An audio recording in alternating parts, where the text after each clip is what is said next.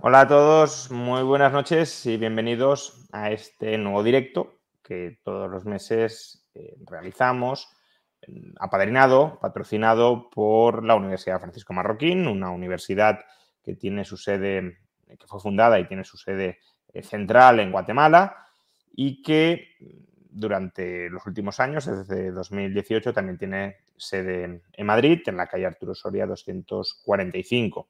Eh, si queréis obtener más información sobre la universidad, de la que algunos eh, formamos parte, eh, pues podéis pinchar en el enlace que encontráis en la descripción del vídeo y ahí hallaréis más información sobre los grados y posgrados que ofrecen y que podéis cursar presencialmente los españoles que viváis en, en Madrid. Y bueno, pues la misión de la Universidad Francisco Marroquín es promover una sociedad de individuos libres y responsables y como parte de esa misión, em, pues cada mes, em, como una pequeña parte de esa misión, hay que decir, pero cada mes en este canal realizamos entrevistas que nos ayuden a, entender el funcionamiento de las sociedades libres y en qué momento se haya pues las distintas sociedades de nuestro entorno, eh, si van evolucionando o van avanzando hacia una mayor libertad o van retrocediendo. Y una sociedad muy relevante a estudiar en términos de, cómo evoluciona su libertad, porque ha sido durante décadas un ejemplo para toda Iberoamérica y que durante los últimos años descarriló, no sabemos si del todo o en parte, pero descarriló, es la sociedad chilena. Y pese a que, como digo, durante los últimos años descarriló, parece que en los últimos meses está intentando volver a encarrilarse. en el pasado mes de septiembre se rechazó un proyecto de nueva constitución que socavaba el Estado de Derecho y hace unos días se celebraron elecciones para el Consejo Constitucional y se conformaron unas mayorías que de alguna manera parece parecería que invitan a un cierto optimismo con respecto al nuevo texto que puede emerger y que reemplace al, texto constitucional vigente. Y para hablar sobre todo esto, si hay motivos para el optimismo o si no los hay, cómo es posible que en tan pocos años la sociedad chilena haya dado tantos cambios de abrazar el consenso constitucional actual o constitución actual a rechazarla radicalmente y querer reemplazarla por algo muy distinto, a ahora mismo pues rechazar, eh, oponerse a, esas ansias de cambio y de revolución constitucional eh, de, los últimos años y volver a una posición pues más mm, razonable en términos de respeto constitucional a las libertades individuales. Para hablar de todo esto, hemos traído a dos investigadores de Faro UDD, eh, centro al que también yo mismo estoy adscrito. Uno de ellos es eh, Felipe Svenberg. Eh, ¿Qué tal, Felipe? Muy buenas noches desde España. Felipe es investigador adscrito a Faro UDD y además profesor de filosofía. Muy buenas noches, Juan Ramón. Muchas gracias por la invitación. Felipe ya estuvo, por cierto, hace unos meses en este canal. Comentamos las razones que se podían esconder detrás de ese rechazo del pasado mes de septiembre, si invitaban o no al optimismo. Y bueno, pues eh, luego le preguntaré si, si, en ese momento cabía vislumbrar una situación como la actual o no. si, si, la situación ha seguido mejorando o si, o si no o si ya en ese momento pues ya estábamos donde había que estar. Y eh, el siguiente eh, investigador de FARUDD con el que vamos a hablar es Miguel Ángel Fernández, que a su vez es investigador en ciencia política. ¿Qué tal, Miguel Ángel? Hola, Juan Ramón. Mucho gusto estar contigo, todos quienes nos acompañan hoy día. Buenas noches en España, buenas tardes acá en Chile todavía. Pues buenas noches en España y buenas tardes desde luego en Chile, que seguro que también hay ahora mismo muchos chilenos siguiéndonos. Bueno, para quienes no sepan en qué contexto o en qué situación estamos ahora mismo, aunque lo he intentado resumir, pero si podéis, antes de empezar, mm, sintetizar muy brevemente eh, por qué esta entrevista es importante o por qué se produce en un momento especialmente significativo que ha ocurrido recientemente en Chile para que eh, coloquemos ahora mismo el foco de atención, pues os lo agradecería y a partir de ahí ya empezamos a, reflexionar. Vale, bueno, comienzo yo si Miguel Ángel no tiene inconveniente.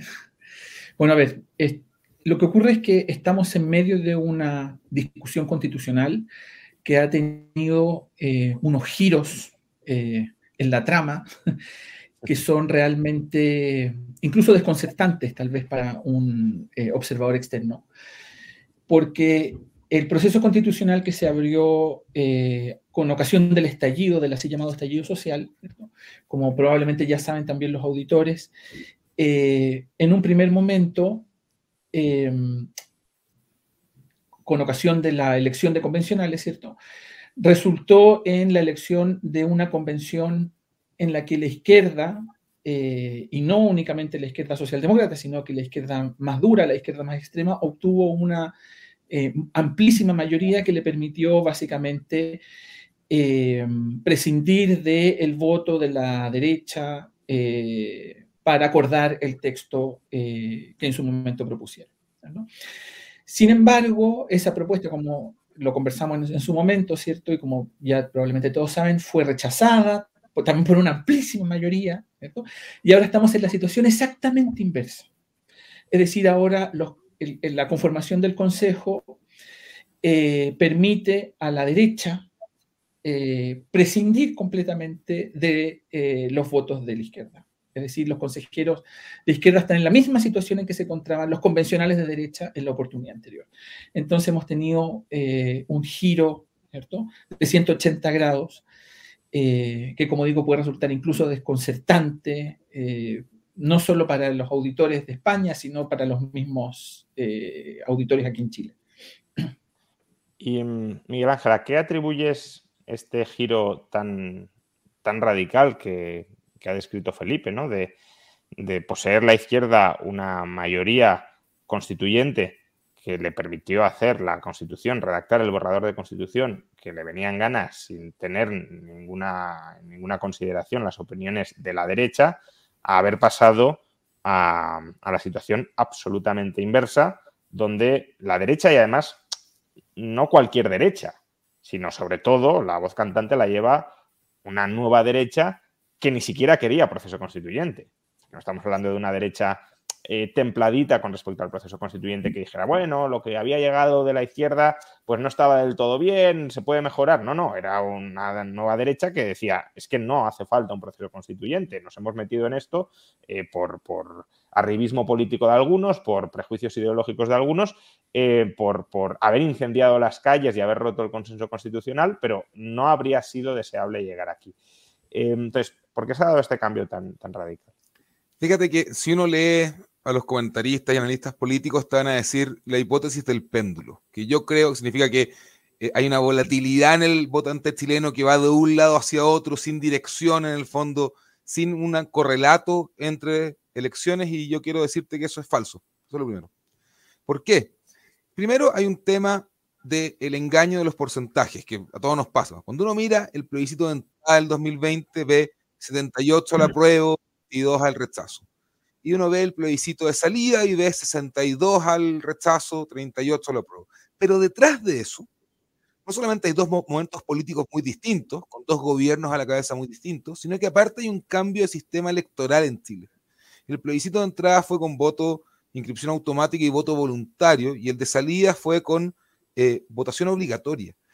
Y cuando uno ve las magnitudes de apoyo electoral, el apruebo de entrada sacó 4.8 millones, 4.8 millones, eh, el apruebo salía, o sea, 5.8 millones y el apruebo salía saca 4.8 millones. O sea, hay un millón de votantes que se le van, asumiendo que todo se mantiene igual.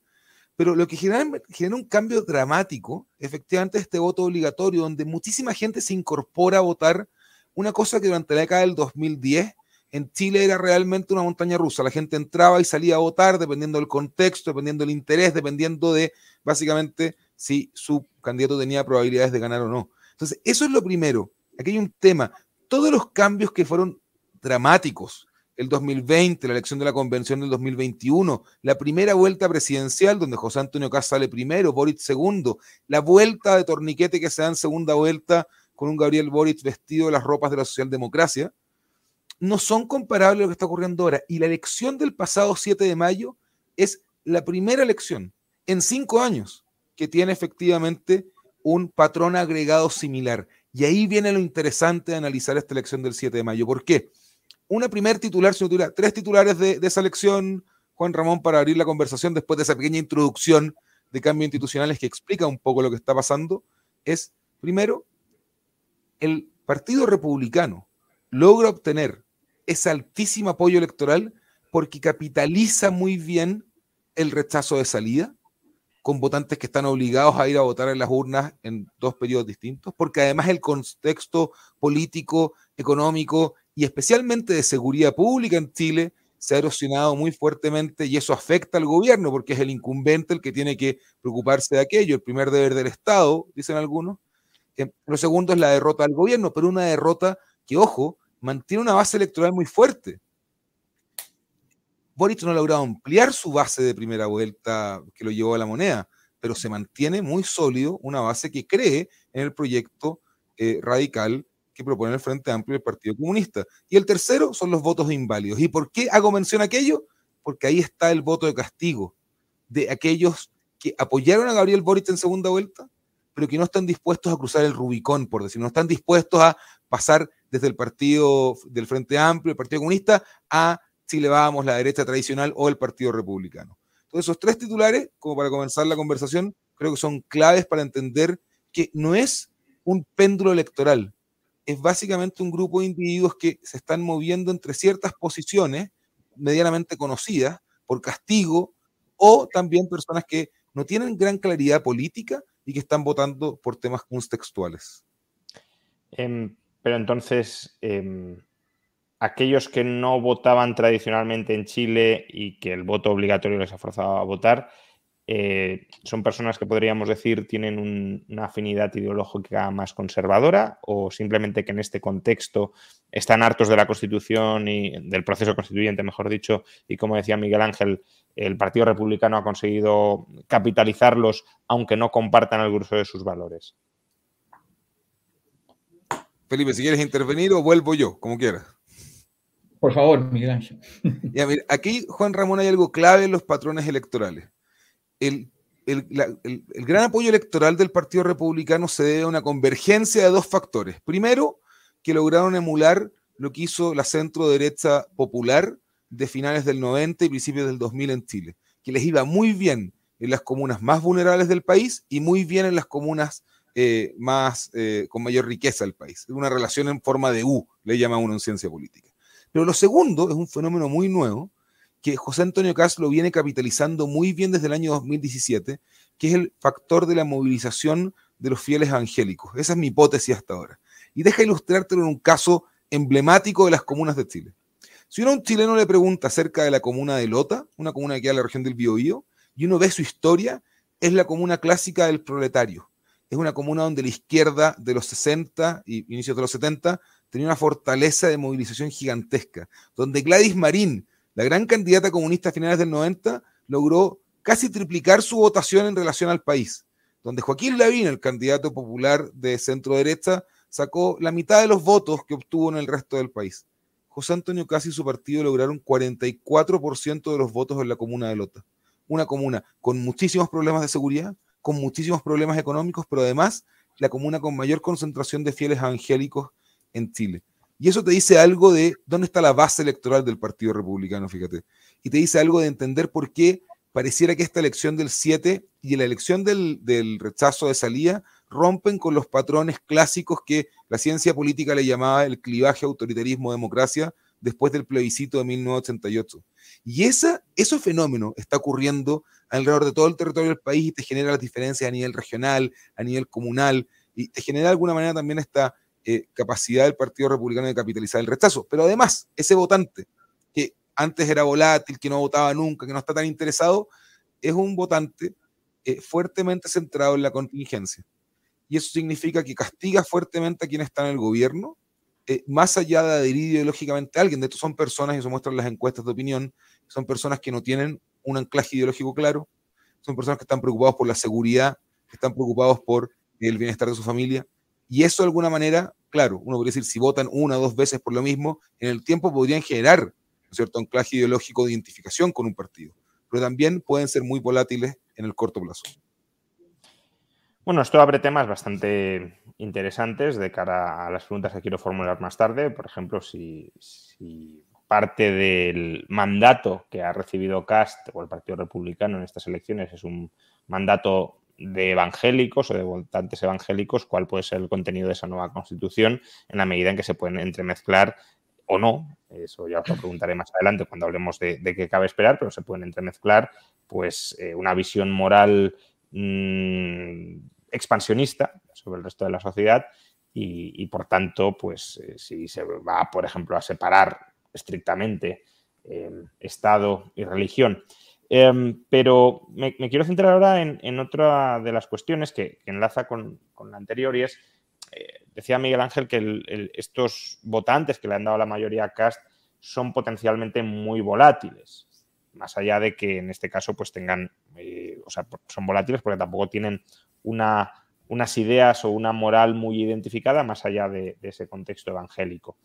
Eh, pero entonces, claro, el Partido Republicano tampoco tiene un mandato muy claro respecto a cómo ha de redactar la nueva constitución, porque no es, por lo que me estáis diciendo, no es gente que haya dicho, nos gusta la constitución actual, pero estamos en un proceso constituyente y por tanto vamos a repetir más o menos Em, lo, que, lo que había, pero con un nuevo ropaje.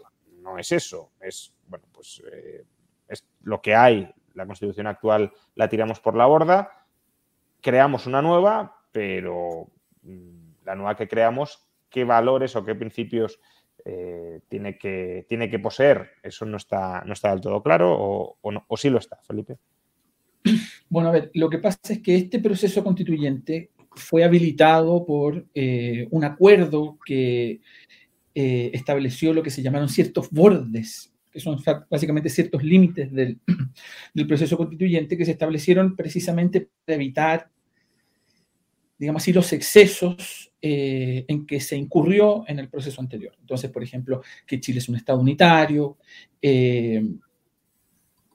que, eh, no sé, los emblemas nacionales, por ejemplo, esos son, son, digamos así, límites que no pueden franquear los, eh, los consejeros del, del, nuevo proceso constituyente.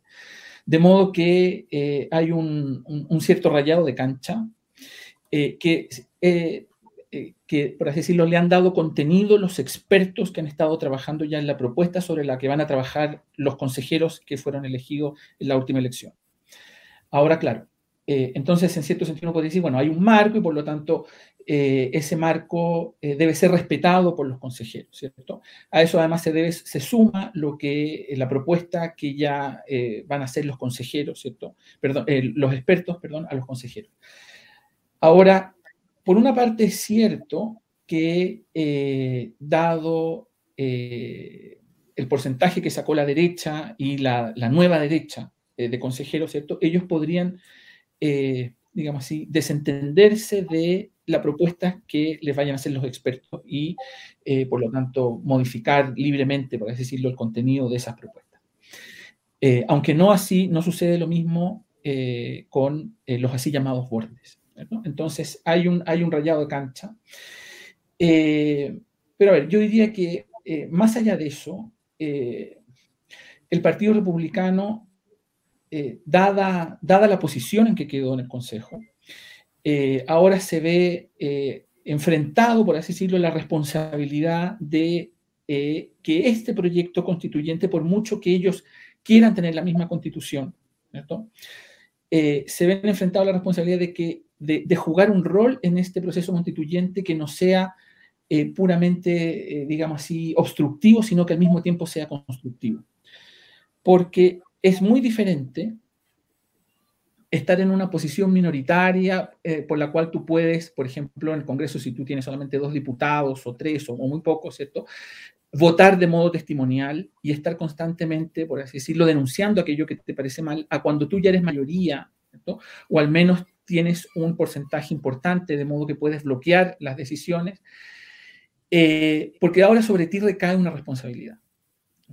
De modo que, eh, por una parte, eh, el Partido Republicano, y yo creo que han dado algunas muestras de eso, ¿cierto? han tenido que empezar a ordenarse, han tenido que empezar a afrontar esto de otra manera, porque ahora, digamos, si a ellos no les puede pasar lo mismo que a la convención, ellos, aunque no quieran un nuevo proceso constituyente, eh, yo creo que sería un fracaso para ellos si esta, este proyecto, aunque no lo quieran, fuera eh, rechazado por un 60%. Digamos. Eh, de modo que yo creo que ellos tienen que empeñarse, todos en realidad, ¿cierto? Pero ellos en particular, que no querían este proceso, ya que participaron de él, tienen que empeñarse en hacer algo razonable. Y yo creo que eso le va a suponer eh, algunas dificultades y probablemente varias decepciones para muchos de los adherentes eh, del Partido Republicano. ahora hablamos de qué podemos considerar razonable eh, dentro de esa nueva mm. constitución, pero mencionabas, Felipe, que hay 12 eh, bordes o 12 bases que eh, el Consejo no puede tocar, ¿no? que han sido ya acordadas y que eso se mantiene tal cual. Em, ¿Puedes, tanto tú o Miguel Ángel, mm, decirnos algunos ejemplos de, esos 12 bordes y en qué medida condicionan de una manera muy, muy rígida el desarrollo de la Constitución, de la nueva Constitución? Porque, bueno, eh, como ahora mencionaréis, pues estamos ante principios muy generales o, bases muy generales em, que, bueno, en todas las constituciones están y que en sí mismos a lo mejor no tienen demasiado contenido, no son más eh, significantes, muy formales, con un, que un significado muy, muy, claro. Em, pero, por decirlo de otra manera, con esas 12 bases que ya son inmodificables, ¿sería posible reproducir algo así como la constitución vigente o no? Bueno, ese, ese, eh, a ver, yo creo que la manzana de la discordia de esas 12 bases se encuentra básicamente en el Estado Social de Derecho, porque en esas bases lo que se declara es que Chile es un Estado eh, social y democrático de derecho. Y em, parte, eso ya se ha visto, digamos así, también en la discusión de los expertos, ¿cierto? Eh, obviamente la gente que es más cercana a la izquierda o de izquierda o de extrema izquierda interpreta Estado Social de Derecho de un modo que resulta incompatible con la provisión de los derechos sociales en un mercado. Entonces, la idea, ¿cierto?, es que los derechos sociales tienen que eh, proveerse de modo gratuito y que los particulares que quieran participar en esa provisión pueden hacerlo siempre y cuando no lucren. Esa es la idea. Entonces, esa es la interpretación que ellos tienen y que van a promover eh, y han promovido, ¿cierto?, sus expertos en eh, el Consejo.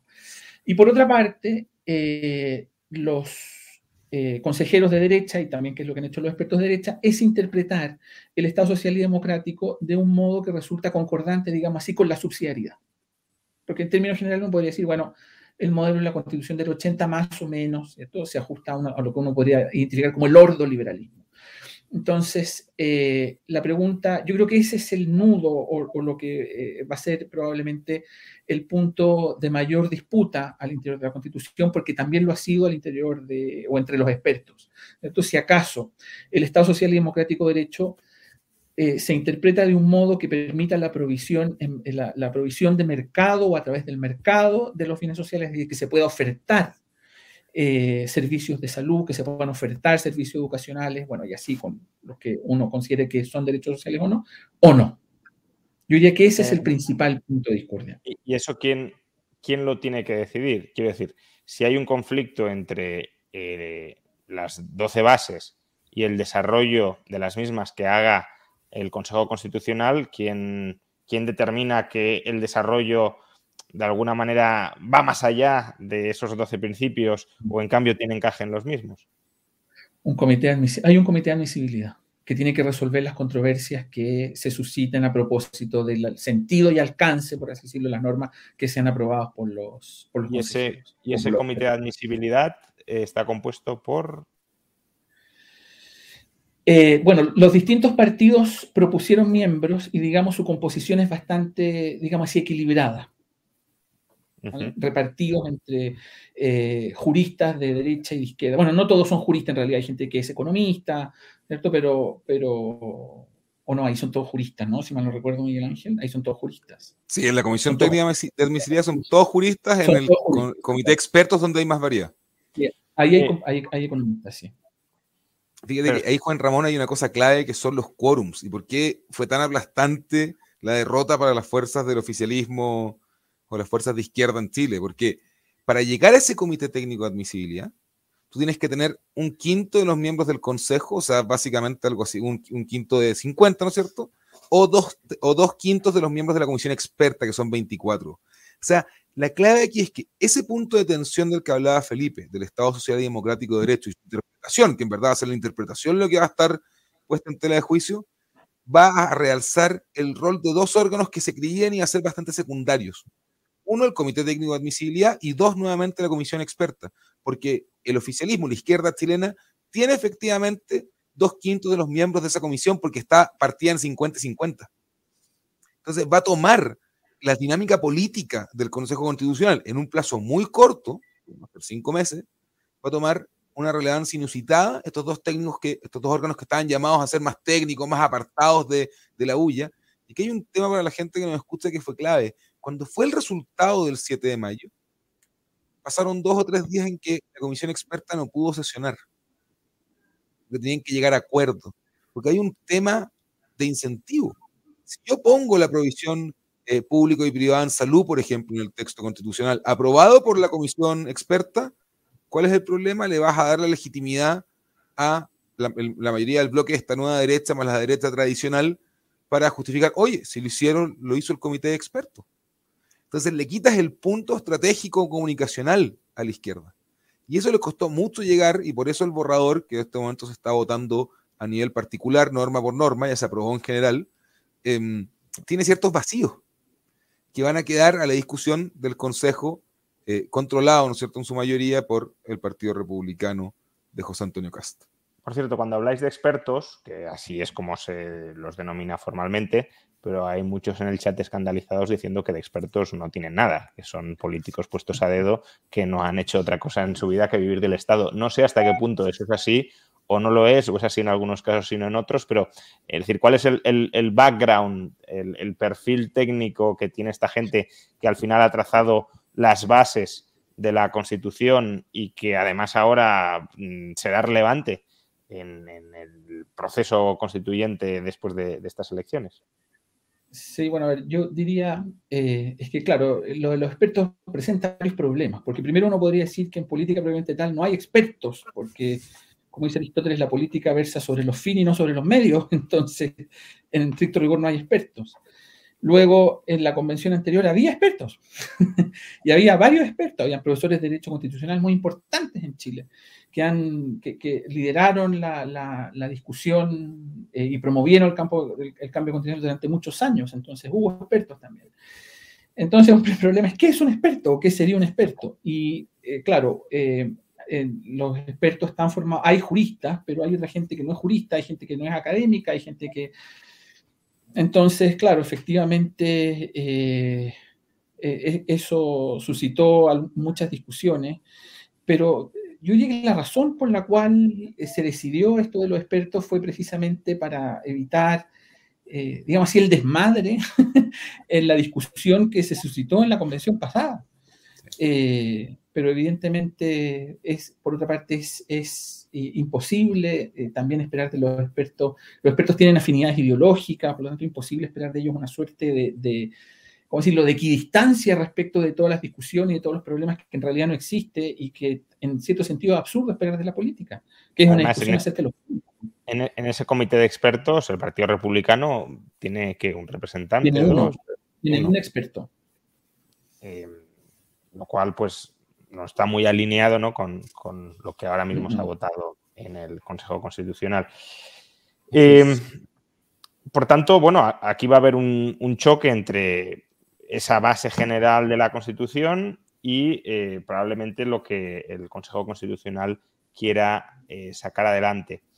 Em, pero ¿qué intentará sacar adelante ese Consejo Constitucional? Es decir, dentro de las posibilidades que tiene, que las fronteras no están del todo claras, porque si hay conflicto, ya, habéis explicado que, irá al, comité de admisibilidad y por tanto habrá que determinar si vamos por un lado o por otro, pero dentro de las posibilidades relativamente elásticas que puede tener, eh, ¿qué va a intentar hacer el Partido Republicano?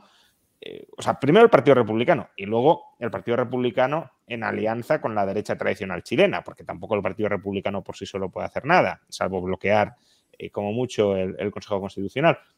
Em, antes Felipe decía que sería un fracaso que el Partido Republicano se implicara y que luego fracasara en un rechazo este texto constitucional y que por eso tiene que hacer algo razonable. Pero ¿qué va a entender el Partido Republicano como razonable? Porque, claro, razonable se puede entender como algo de consenso, de consenso incluso con la extrema izquierda, o razonable puede ser algo fruto de la razón, es decir, que si la extrema izquierda es irracional, no la tenemos en cuenta y tratamos de ofrecer a los chilenos algo que preserve su libertad y sus derechos fundamentales, no, no, buscar una ensalada o una, eh, eh, una fusión con las ideas de, la extrema izquierda. ¿no? Entonces, eh, ¿qué creéis que va a hacer el Partido Republicano o qué va a intentar hacer?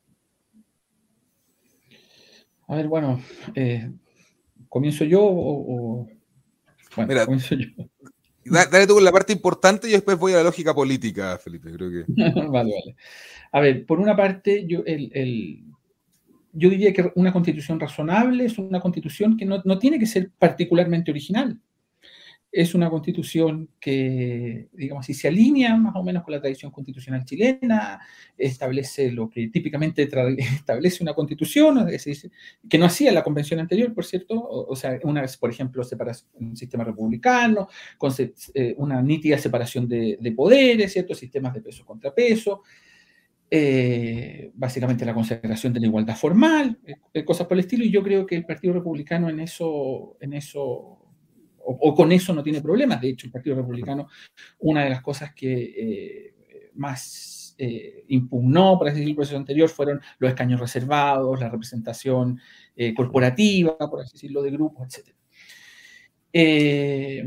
yo creo que en, ese sentido, yo creo que el riesgo o el problema o la decepción para mucha gente va a estar más bien primero con las expectativas que pueda tener respecto de eh, digamos así, por ejemplo, temas como el aborto, eh, o que puedan esperar que el Partido Republicano eh, defienda, digamos así, ciertas cuestiones aquí llamadas valóricas o ciertas cuestiones morales de un modo muy, digamos así, intransigente. y la otra cuestión tiene que ver nuevamente con la cuestión de la provisión de mercado no. ahora bien, yo creo que en toda esta discusión no hay que perder de vista que, claro, hay un sector de la izquierda que tiene una visión instrumental de la Constitución, porque en el fondo ellos, eh, ellos están embarcados en un proyecto revolucionario. Eh, y para efectos de la realización de ese proyecto revolucionario, una constitución estándar como la que yo estoy describiendo no, no, no es útil, no les sirve. Por eso, digamos así, eh, en varios países latinoamericanos lo primero que han propuesto eh, los gobiernos de extrema izquierda al llegar al gobierno es precisamente abrir un proceso constituyente, abrir una asamblea constituyente, porque, digamos así, una democracia representativa, ¿cierto?, con representación formal, etcétera, a la larga eh, impide la consumación de esos proyectos revolucionarios. Entonces, hay una parte de la izquierda que tiene una visión instrumental de la Constitución y que solo van a estar contentos en la medida en que la Constitución que se proponga o que se apruebe sea la que ellos quieren. Entonces, esto va a depender, el éxito de esto, porque ojo que en el fondo yo, yo, yo creo que al Partido Republicano le basta participar de la propuesta de una constitución razonable en los términos que he indicado eh, antes. Si esa, esa constitución luego se rechaza, yo creo que el Partido Republicano, si ha participado de, esa, la confección de esa constitución, no va a tener nada de qué avergonzarse, por así decirlo.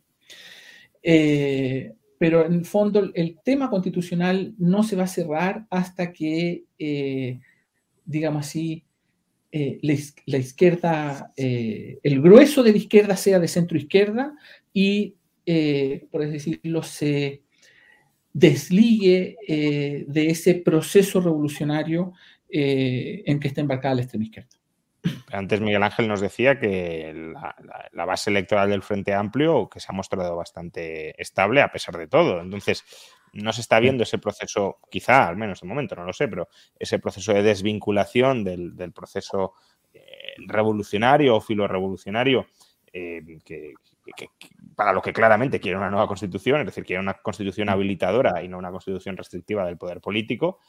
Eh, con lo cual, ¿cuál va a ser la estrategia política? ¿no? Del, repito un poco la, pregunta a raíz de, todas estas reflexiones. ¿Cuál va a ser la, estrategia política de los republicanos? Si apostar de alguna manera por diluir sus propias ideas y sus propios principios para llegar a un acuerdo con la izquierda, que, como dice Felipe, no les va a valer ese acuerdo porque lo que quieren es lo que quieren y no eh, algo que sea aceptable por el Partido Republicano, salvo que también se eche al monte revolucionario, que no parece que sea el caso, o...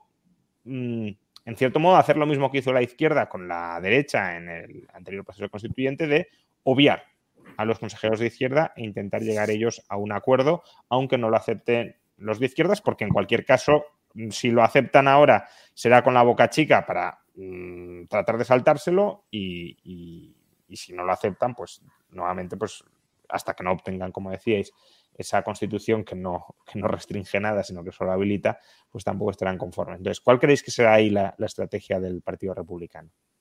Fíjate que lo primero ahí, Juan Ramón, es que hay que mirar lo que ocurrió en la convención pasada.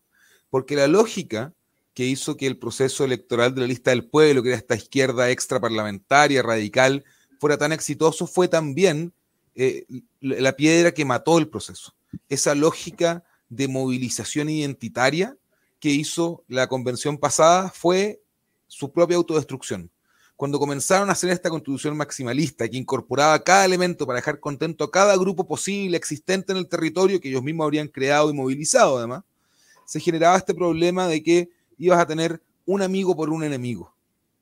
Y esa lógica generó este sesenta y tantos por ciento en un voto obligatorio, en el que se estuvo obligada a tomar posición para rechazar el año 2022. Entonces, esa elección es muy importante para el Partido Republicano. Primero, ¿no es cierto?, no, caer en la lógica de movilización identitaria y que en su versión podría ser la movilización contextual en el fondo, para poder tener una constitución que tenga bordes y límites claros, que siga los principios de una democracia liberal, que tenga, ¿no cierto?, coherencia con el peso de la noche, como le decimos en Chile, que es básicamente la tradición cultural institucional del país. Y en ese sentido, eso puede permitirle nuevamente aunar la fuerza de esos dos tercios de chilenos que podrían votar a favor de un proyecto constitucional con las características que decía Felipe, eh, pero la lógica es que tienen que lograr aprobarla. ¿Y por qué? Los tiempos políticos electorales en Chile están tan cortos. Vamos a tener plebiscito sería en diciembre, va a pasar el verano chileno, enero, febrero, y vamos a estar hablando de primarias para gobernadores regionales, alcaldes, concejales, toda la administración subnacional del país. Y eso va a pasar en octubre del próximo año, y la carrera por la presidencia ya está destapada. Entonces, si el Partido Republicano pretende, de alguna manera, dar algo que a José Antonio Cast lo golpeó mucho en segunda vuelta, que es el ideario de gobernabilidad y estabilidad, que lo intentó comunicacionalmente, pero que no logró consolidarlo en la población. Em, si logra hacer eso, gran parte va a depender de este proceso de cinco meses. Y están todos los partidos, de un lado y de otro, eh, la derecha tradicional viendo, ¿no cierto?, los movimientos del Partido Republicano, el Partido Republicano cuidándose mucho durante las primeras semanas, lo que hemos visto esto, más allá de la aparición de ciertas figuras eh, específicas con gran votación nacional que aunan la mayor cantidad de atención mediática, el resto se ha mantenido relativamente en silencio. La comunicación oficial es que están en proceso de capacitación, por ejemplo, porque ellos entienden que en un periodo tan corto su futuro de posibilidad de gobernar en dos años más, si queda la vuelta de la esquina, depende del proceso de los próximos cinco meses y depende de que haya una elección que repita por tercera vez un patrón, no como el 2000, 2022 en Chile.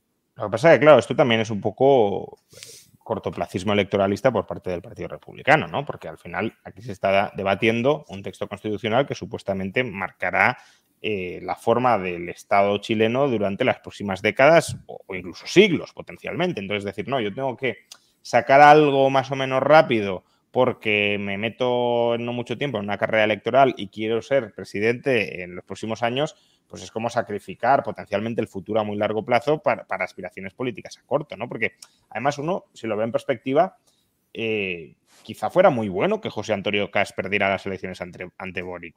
No lo sé, esto ya es entrar en, política ficción, pero quizás si hubiese ganado Cast, la Constitución no hubiese salido aprobada, mm. eh, la Constitución anterior hubiese salido aprobada. Por tanto, lo que ha posibilitado, o uno de los factores que ha posibilitado que esa mala Constitución no saliera adelante fue la derrota de Cast y que Boric se haya fogueado como, hasta el momento al menos, mal gobernante y que la gente haya reaccionado en parte eh, votando en contra mm. de esta Constitución eh, e incluso dándole una mayoría sólida a la derecha dentro del Consejo Constitucional. Nada de esto puede ser, hubiese sucedido con la victoria de, de em, entonces, claro, desde un punto de vista de institucionalidad a largo plazo de Chile, qué mejor que la victoria de Boric eh, cuando hace, hace, unos años, ¿no? Em, entonces, em, ¿creéis que, verdaderamente ese va a ser el análisis cortoplacista, electoralista de todo el Partido Republicano o va a haber gente que dentro del Partido Republicano diga, oiga, si hemos de sacrificar la presidencia por tener una buena constitución o intentar tener una buena constitución, lo vamos a hacer. ¿Qué creéis que va a pesar ahí más? Es difícil saberlo. No, tengo suficiente información para saber la voluntad del Partido Republicano, pero la política electoral no es moral. Y eso es un tema clave. No, tenemos que poner anteojeras y creer que esto es algo el poder llama mucho y la posibilidad de alcanzarlo, de repente aún más. Em, sí, Felipe, adelante. Sí, no, yo diría que hay otra dificultad, que en el fondo, claro, el Partido Republicano como eh, no ha estado hasta ahora en esta situación en que es responsable o corresponsable del éxito de un proceso, eh, ha tenido a veces intervenciones o algunos de sus miembros intervenciones muy estridentes, eh, haciendo, eh, qué sé yo, no sé, pues, denunciando el globalismo, eh, a veces repitiendo teorías conspirativas respecto a tal y cual cosa, algunos en, redes sociales. Entonces, es difícil también saber la disciplina que va a tener, digamos así, sus miembros ahora confrontados con una situación como esta. Entonces, yo diría que es más bien algo que está por verse. Em, y, para terminar con la postura del Partido Republicano, porque otra posibilidad, si realmente el Partido Republicano cree que no hace falta una nueva constitución o que las 12 bases que estáis mencionando son, mm, no todas, ¿eh? porque hay bases con las que habéis dicho que coincide el Partido Republicano y coincide cualquier, casi cualquier persona eh, con dos, dos, dedos de frente o que al menos no quiera entrar en un proceso revolucionario. Pero eh, si hay alguna base que puede ser preocupante, conflictiva, en el sentido de que introduce elementos de ambigüedad que permitan eh, que el Estado desborde los derechos individuales, eh, el Partido Republicano no podría optar por, mm, de alguna manera, hacer frustrar este proceso.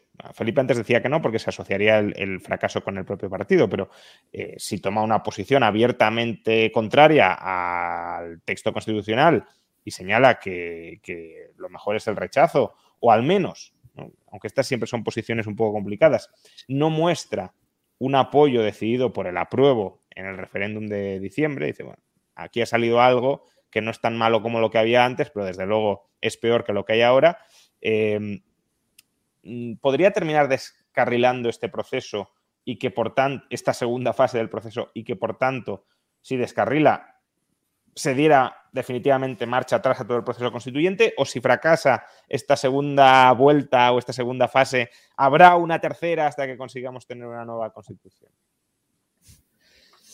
Bueno, yo creo que no se puede descartar en absoluto que vuelva a ganar el rechazo. Eh, y de hecho ya hay gente, digamos así, tanto de extrema izquierda como gente del Partido Republicano que ya dicen que van a votar rechazo. Entonces, no se puede descartar en absoluto. Ahora, si vuelve a ganar el rechazo, eh, a ver, yo me imagino que esto llega hasta aquí, al menos en el sentido de volver a convocar una convención y de hacer un nuevo plebiscito. Y yo, yo creo que eh, ya la ciudadanía tiene un cansancio también del tema constitucional. Eh, la ciudadanía está más preocupada, como decía Miguel Ángel, de cuestiones contingentes, cuestiones como la seguridad, y probablemente eso también pesó mucho eh, en, el, en, el, voto de la elección de consejeros, como voto de castigo también al gobierno. Está preocupada también, qué sé yo, de la situación económica. Yo creo que parte también de la desafección con este proceso tiene que ver, y con el cambio que, que, tú, que tú te referías al principio, tiene que ver con el hecho de que la gente ha percibido un deterioro que ha sido muy rápido, entonces se da cuenta que en realidad quizás el 18 de octubre del 2019 no estaba tan mal como creía que estaba.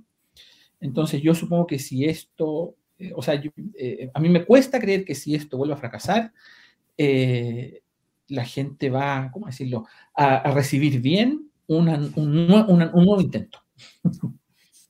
Sí, aparte que es, someter a, la institucionalidad chilena a una tensión permanente o a una provisionalidad permanente de, bueno, aquí no hay nada definitivo, aquí todo es provisional hasta que salga algo que, no sabemos qué forma va, a tener. Bueno, habiendo hablado ya del Partido Republicano, ¿cuál creéis que sea la estrategia de, la derecha tradicional de Chile?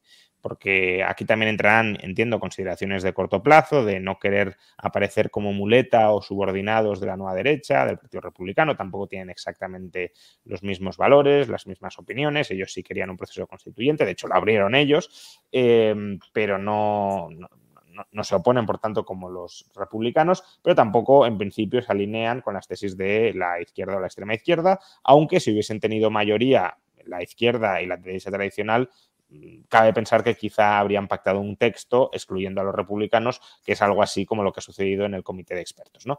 Eh, entonces, eh, la, nueva, el, perdón, la derecha tradicional eh, hasta cierto punto está obligada a entenderse con el Partido Republicano porque Em, el Partido Republicano puede bloquear y la derecha tradicional más la izquierda no, no tienen mayoría. Entonces, eh, el único papel útil que puede hacer la derecha tradicional es entenderse con los republicanos, pero útil para sacar el texto. Eh, pero ¿cabe entendimiento entre ambos? ¿Hay, ¿Hay áreas en las que puedan llegar a acuerdos? ¿Y cuáles serían, o sea, dónde están ahora mismo los mayores consensos y dónde residen los mayores puntos de fricción? Bueno, a ver, eh, yo diría que si hay, eh, si hay posibilidades de entendimiento, eh, no hay que olvidar que parte importante del Partido Republicano es gente que antes estaba en la UDI, la Unión Demócrata Independiente, y que básicamente formó un partido separado porque le pareció que la UDI, digamos, se había ido demasiado al centro. Entonces yo, yo, yo creo que al menos entre la UDI y el Partido Republicano hay bastantes posibilidades de entendimiento. Eh, además, por ejemplo, eh, y con, y con incluso el Partido Republicano puede tener posibilidades de entendimiento, por ejemplo, con, con partidos como Evópoli, eh, que sería el equivalente más o menos ciudadano en España, porque el Partido Republicano es, o sea, es una defiende el modelo económico, ¿cierto? No, no pretende establecer un, una economía, digamos así, corporativista, como podría ser la extrema derecha de otro país, ¿cierto? Eh, entonces, en ese sentido, yo creo que hay posibilidades de entendimiento. Eh, y yo creo que lo que le ha sucedido en términos más generales ya a la derecha es que eh, todo lo que ha acontecido, claro, porque ella participó y habilitó el proceso constituyente anterior, un poco forzada por las circunstancias y un poco porque pensaban que nunca tan mal en la elección de convencionales. pero todo lo que ha sucedido ha obligado a la derecha, en el fondo, a, a replantearse lo que ha hecho los últimos años, ¿cierto?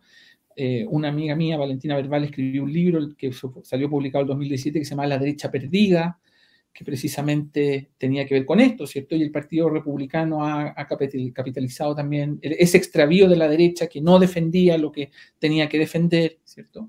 Entonces yo creo que hay, hay posibilidades de entendimiento en varias cuestiones. No sé si Miguel Ángel, tú querrás añadir algo. Sí, Entonces, ¿dónde están los principales puntos de fricción? Es decir, ¿por qué no se pone, o sea, desde fuera, ¿eh? no lo sé, a lo mejor no, pero tengo la sensación de que eh, el entendimiento con los republicanos es posible, pero no está hecho. Es decir, que, hay distancia y, que, cada uno va a hacer valer su, baza ideológica respectiva. Entonces, ¿dónde están los principales puntos de disenso o de potencial enfrentamiento? A ver, yo diría que las así llamadas cuestiones valóricas, eh, pero es que yo, eh, por ejemplo, el aborto, el matrimonio igualitario, eh, quizás tal vez cuestiones con la inmigración, pero sí, a ver, pero yo no creo que el Partido Republicano pretendiera, por ejemplo, ofrecer una definición de familia en la Constitución, por ejemplo, por la cual empezar a hacer en adelante, si es que se aprueba la Constitución, por ejemplo, inconstitucional el matrimonio voluntario. Es que yo creo que si el Partido Republicano propone eso, va a perder, sencillamente va a perder, y yo creo que ellos son conscientes de esas cosas. Por eso, por ejemplo, uno de sus consejeros, el que tuvo mayor votación a nivel nacional, dijo que ellos no pretendían cambiar la situación con respecto al aborto. En Chile hay aborto en tres causales, ¿cierto? en fin. Eh, entonces, a mí me da la impresión que eh, eh, son conscientes de esas cuestiones. Después, yo diría también que el Partido Republicano también tiene una cuestión identitarista, pero claro, es una cuestión identitarista, digamos así, menos obvia, porque tiene que ver con la cuestión de Occidente y la defensa de una tradición cultural tal como ellos la entienden. Eh, entonces, eso pasa más desapercibido. Eh, yo creo que esos son los puntos de fricción. Mira, y el otro punto de fricción, Juan Ramón, es, sorry, siempre llevo agua a mi molino, pero es la competencia electoral que viene el próximo año. Sí, claro. eso también, por eso. La, centro derecha tradicional, hay un efecto centrífugo en el sistema de partidos tiene hoy en día. Cuando uno escucha, por ejemplo, Renovación Nacional, que era un partido el partido de Sebastián Piñera, un partido de centro derecha más ligado al centro, que intentó hace una década hacer una alianza con la democracia cristiana, para que haya un poco de, contexto. Decir que va a llamar un congreso ideológico para poder volver a sus raíces, que era ser de derecha, la, la, Nacional del 90, uno ve que está empujando el carro hacia eh, los polos de la distribución ideológica del país. y en ese sentido, Claro, es porque hay un efecto reemplazo. El, fenómeno republicano tiene mucho contextual, tiene esta variante nueva, eh, evangélica, pero también tiene un efecto reemplazo. Las grandes competencias que se dieron durante el 2021 en la municipal fueron comunas donde tradicionalmente la derecha tenía, la derecha tradicional, valga la redundancia, tenía mucha fortaleza. Y se va a abrir el apetito de un partido político y de agentes de partidos políticos por ver su propia supervivencia en el tiempo. Las elecciones municipales están al lado. Entonces, la derecha tradicional tiene dos opciones en el fondo. Va a tener una opción pública, que va a ser el puente, de alguna manera, de acuerdos entre el ala más socialdemócrata de lo que quedó del oficialismo, o sea, el Partido Socialista, ¿no es cierto? Eh, y, por otro lado, el Partido Republicano, y también intentar marcar diferencias mediáticas de estilo, diferencias de alguna manera, porque en las bases eh, ideológicas no tienen mucha diferencia. El sistema político chileno tiene, ese problema hoy en día, no tiene muchos partidos y no sabe diferenciarlos entre uno y otro. Tiene 21 partidos y el Frente Amplio, yo le digo Frente Amplio, pero son siete partidos interiores y casi nadie me puede decir la diferencia entre comunes iguales, por ejemplo, o entre Revolución Democrática y Convergencia Social. Y lo mismo va a pasar un poco en la derecha con este efecto centrífuga hacia la derecha.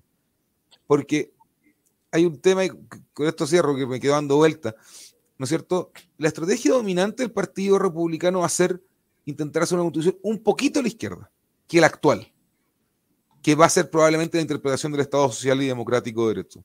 Porque bajo una lógica cortoplacista, ojo, si se rechaza ella, se legitima la constitución que yo nunca quise cambiar. Pero eso asume que el status quo es un equilibrio que se puede sostener a largo plazo. Y el problema ahí es que aunque hay agotamiento electoral, como decía Felipe, y es muy cierto, nada nos dice que volvamos a el 2013, donde la discusión constitucional pase a la discusión presidencial de nuevo en dos años más. El proceso chileno es bastante más largo que el 2020-2023. Entonces, y, el riesgo de caer en un loop, que aparte tiene un impacto sobre el desarrollo económico, sobre el bienestar de la población, sobre la consolidación institucional, es muy alto. Y esos son algunos factores que van a llevar a diferenciación estratégica de la derecha tradicional y esta derecha republicana slash nueva derecha. O sea, que crees que el análisis que va a hacer el Partido Republicano es que la opción menos mala es que salga aprobada una constitución ligeramente a la izquierda de la que hay hoy para sentar un nuevo consenso constitucional para las próximas décadas. Yo creo que esa es la opción más viable porque y que le permita llevar a cabo un plan de gobierno pensando en la fuerza de arrastre de este triunfo. La cuestión es cuánto a la izquierda, ¿no? Porque. Esa es la, la, pregunta es cómo calibrar eso. Esto es como la curva la FER. No tengo idea en qué punto se maximiza crecimiento económico y recaudación, pero ahí está. ¿Y, cuál creéis? Porque esto liga con lo siguiente que os quería preguntar. ¿Cuál creéis que sea la estrategia de la izquierda? Eh, ¿Intentar llegar a acuerdos con la derecha cediendo mucho? porque si no cede será difícil que llegue a acuerdos, o boicotear desde dentro y desde fuera de las instituciones el proceso para que fracase este, este nuevo texto constitucional, porque, claro, ellos también juegan con eso, dicen, bueno, si tumbamos esto, lo que consolidamos, aunque sea por tres, cuatro, cinco, seis años, es la constitución que hay ahora. Entonces, ¿cuál es la opción menos mala para la izquierda en el corto medio plazo? Porque en el largo plazo, luego os volveré a preguntar sobre esto, pero en el, largo plazo, al menos la, parte más extrema de la izquierda quiere un proceso revolucionario. Entonces, esa va a seguir siendo su estrategia. Pero en el corto medio plazo, claro, mm, o llego a acuerdos cediendo mucho o no llego. Promuevo el rechazo y si tengo éxito en el rechazo, consolido la constitución eh, del 80. Entonces, ¿qué va a pasar ahí? Yo digo, es muy difícil saber. es, que, es que el problema es que acá hay una generación, sobre todo gente joven, que no creía en la democracia de los acuerdos, que durante 10 años, eh, desde antes del 2019, por lo tanto, desde el 2011 al menos, eh, denostó, por así decirlo, los últimos 30 años por los acuerdos, que eso eh, era una falsa forma de democracia. Entonces, eh, el problema es que esta gente, en el fondo, está aprendiendo a gobernar ahora y recién en el último tiempo ha tenido derrotas electorales. Entonces, eh, lamentablemente, un poco la evolución política del país va al compás de la maduración que esta misma gente está experimentando ahora.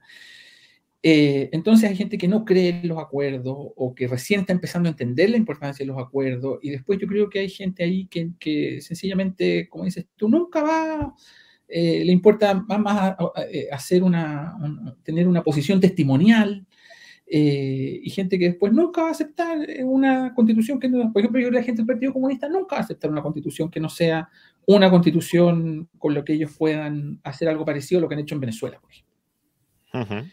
Entonces es muy difícil, diría yo, saber. Supongo que habrá gente pragmática, o habrá gente que ya habrá ido poniéndose pragmática con el correr del tiempo en estos dos años, digamos, eh, y, vaya, eh, o esté con una disposición, digamos así, a llegar a algún tipo de acuerdo. Miguel Ángel, ¿cómo crees que también va a influir el proceso electoral que, está en ciernes en, la estrategia constitucional de la izquierda? Mira, uno ve de repente destellos de honestidad en la clase dirigente de izquierda chilena y uno pasó hace muy poco. Una presidenta de un conocido partido, ¿no es cierto? Eh, eh, no sé si el socialista, el PPD, si me ayuda Felipe a la memoria, pero va y dice, bueno, si el gobierno se quiere quedar con ese 30%, con los monos peludos y ocupó una serie de epítetos, está bien ahí, pero eso no sirve para gobernar, dijo ella. Ah, duró, la, honestidad, del PP, la honestidad le duró cuatro horas porque tuvo que salir a, ah, Natalia Pergentili, tuvo que salir a, arrepentirse de sus dichos. Y eso demuestra la tensión que tiene la socialdemocracia que hizo los 90, que hizo los 2000, de hecho, frente a este mundo de izquierda revolucionaria que se acostumbró a la contradicción. Yo tuve un recuerdo que me vino cuando Felipe decía el 2011. El 2006 fue la revolución pingüina en Chile, ¿ya? que fue el primer movimiento donde se demostró la fuerza de una izquierda que estaba siendo incubada en los liceos públicos del país. El eslogan, que yo creo que hoy en día estarían arrepentidísimos, era Bachelet anda a lavar la loce. En vez de la loza, los platos, la loza era la ley orgánica constitucional de enseñanza. Hoy en día, imagino que eh, el feminismo lo, condenaría aquello, ¿no es cierto? Que es un punto clave, porque estas contradicciones son parte del crecimiento de una izquierda joven que presa de ideas del pasado, básicamente no encuentra su propio camino en un sistema democrático representativo. Y esa es la gran tensión que tiene. Y como decía Felipe, ¿van a madurar? Sí, la pregunta es si van a, van a madurar a tiempo o no. Eh, ¿No es cierto? Ese viejo dicho, los 20 unos de izquierda, los 30 de centro y los 40 de derecha, que se escucha aquí en Estados Unidos y en cualquier sociedad eh, normalmente en diferentes versiones ocurre. Y la estrategia que van a hacer ahora y, y la presión que van a tener por hacer es dominar todos los espacios posibles de medios de comunicación y de presión porque no tienen, no tienen capacidad de bloqueo, tienen que instaurar sus puntos pensando en las elecciones, porque al menos con ese 30%, si lo consolidan, son competitivos. En un sistema proporcional parlamentario como el chileno, alrededor de los municipios del país. Entonces, en un sistema donde tan fragmentado como el actual del país, tú con un 30% te aseguras tener bloqueo en las cámaras, te aseguras poder negociar. O sea, 30% es mucho. No hay que buscar más uno. Es que es lo que voy a decir, un 30% de chilenos que apuesten por un proceso revolucionario, pseudo revolucionario, es algo tremendamente desestabilizador, eh, sea cual sea el resultado de este proceso. Es decir, muchas veces en, democracias avanzadas podemos hablar de un 10, 15% de gente que está en esa línea, pero un 30, pues, tercio del electorado. Entonces, es, ¿Qué era como ocurría en Chile en los 90 y los 2000? El Juntos Podemos Más, que era el bloque de izquierda dura, sacaba, claro, eran testimoniales, 5%, 6%. La gran clave ahora es esa socialdemocracia que hizo los 30 años que no tenga estos destellos de honestidad, quizás que ya ha coqueteado suficiente. El Partido Socialista lo hizo en la última elección, cruzó la línea, eh, y las dinámicas políticas con eso solo terminan en una polarización muy nefasta para la población. No para las élites muchas veces, pero sí para la institucionalidad, población y crecimiento de corto, mediano y largo plazo. Bueno, pues por lo que contáis, eh, tanto el corto como el medio como el largo plazo de Chile es, bastante incierto, eh, porque el corto parecía que se despejaba un poco, pero esas 12 bases que restringen eh, bastante lo que pueda hacer el Consejo Constitucional y que además pueden interpretarse de un modo, o podrían llegar a interpretarse de un modo muy restrictivo para restarle mucho margen de maniobra al Consejo Constitucional, es una amenaza. También el cortoplacismo electoral de todos los partidos y, por tanto cómo colocan sus intereses electorales próximos en estas negociaciones constitucionales puede hacer que el texto que salga no sea desde luego el más adecuado para Chile durante los próximos, eh, las próximas décadas. A medio plazo, pues mm, si, si, no sale aprobada una nueva constitución, se consolidará la que hay, que yo creo que habría sido lo ideal desde un principio, no romper el Consejo Constitucional que existía respecto al texto actual, pero que, como decís, se ha roto hasta cierto punto ese Consejo Constitucional y es muy difícil que se pueda restablecer. Por tanto, se entraría en una eh, situación de provisionalidad institucional. Formalmente no habría un proceso constituyente, pero todo el mundo sabría que en cualquier momento se puede iniciar otro.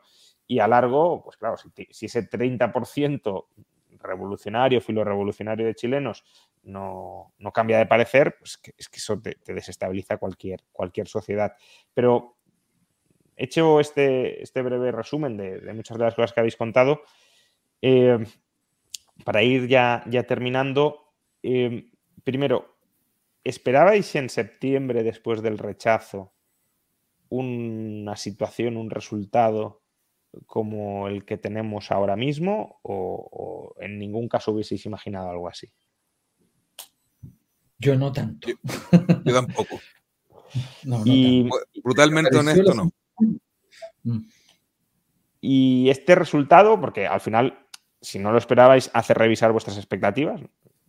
Esperabais algo por una información que teníais, ahora nos ha dado ese algo, por lo tanto habrá que revisar esos previos que os han llevado a esa, os llevaron a esa conclusión. Em, ahora que estáis revisando, por tanto, la, información, el análisis que, hicisteis de la sociedad chilena, ¿sois más optimistas o más pesimistas respecto al futuro, pese a todo lo que he dicho antes, que de lo que lo erais en septiembre? Yo debo decir lo siguiente, como yo estuve tan pesimista en algún momento, yo ahora puedo decir que soy menos pesimista. Yo creo que en el fondo, con el rechazo del 4 de septiembre, nosotros nos salvamos, digamos así, de caer al abismo. Entonces, en comparación con eso, probablemente casi lo que venga por delante es, eh, mejor, digamos, bueno. Claro, pero eh, tampoco estoy optimista. Yo creo que efectivamente vienen años de mucha incertidumbre. Yo no creo que esto se cierre ahora ya, o sea, ojalá sea el caso. Entonces, yo diría que estoy en una situación de más o menos consuelo, Estoy cierto consuelo gracias a la victoria y el rechazo el 4 de septiembre. Esa es mi, situación. Eh, Miguel Ángel. Yo voy a ser un poco más optimista que Felipe, ¿ah? para, para, cambiar tono. Pero sí, se ve difícil los años de Chile por delante. O sea, la gente está agotada y aparte hay un agotamiento de la política brutal. sea, ya le tenías un problema de desilusión, de deslegitimación, deslegitimización, como se dice, pero aparte eso ahora es agobio. Y, y, que la política esté tan lejana a la gente frente a un voto obligatorio, frente al desanclaje de los partidos, frente a la fragmentación, deja tierra fértil para ciertos fenómenos que la historia latinoamericana ha sabido contar muy bien, ¿no es cierto? Que es el populismo. Entonces, por un lado, hay un poco de optimismo porque si el proceso este se lleva a buen puerto, puede que tengamos 40 años de estabilidad institucional. Si es que en las urnas se repite aquello y las estrategias para los políticos, para los actores, son volver al centro, a la izquierda, y dejar al Partido Comunista en su 8%, que está muy contento, y déjenlo ahí. Em, básicamente, está muy contento, se les fue muy bien, históricamente para Chile.